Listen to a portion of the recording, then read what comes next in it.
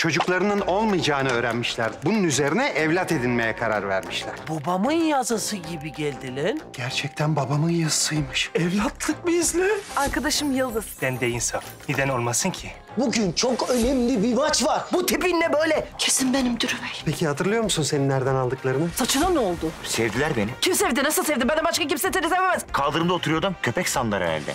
Anam kız olsun diye dayadı eşi, dayadı eşi. Yüzüm böyle kaldı ya geçmiyor. Benimle evlen. Oğlum siz ne yapıyorsunuz ya? Dal bakam kağıtlara. Dal mıyız, değil miyiz? Çıksın ortaya. Kalk Gidelim Cumartesi günü TRT 1'de.